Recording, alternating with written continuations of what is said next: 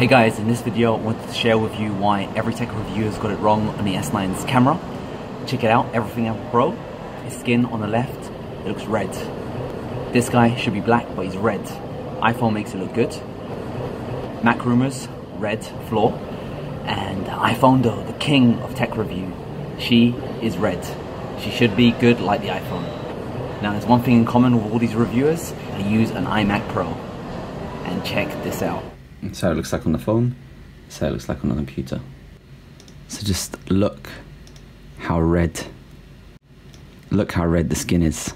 So if you look at the information of the video, you'll find that the Samsung camera has a color profile of REC 2020-919. So when on a Mac, it actually displays very tinted red.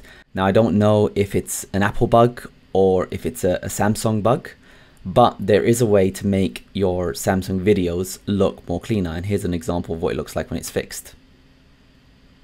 So all I've done here is I've taken away that color profile that was originally displayed. Something interesting is that on Google Photos it actually renders the videos correctly because they strip out the color profile tag.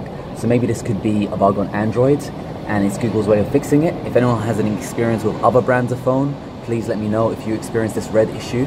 This is what it looks like in Chrome. Again, normal colors.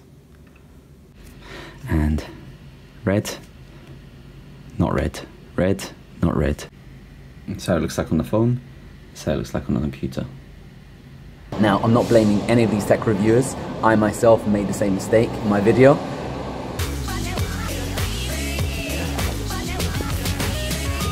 As you can see, the iPhone X is raining grains. It's grainy AF. But Samsung, what the hell is up with you making it orange? And as soon as I discovered the issue, I just republished the video with the correct version. To get this fixed, if anyone knows anyone at Samsung, it's very simple. Just record your videos without that tag. Or, um, I guess Apple, if it's their fault, they could render the videos correctly.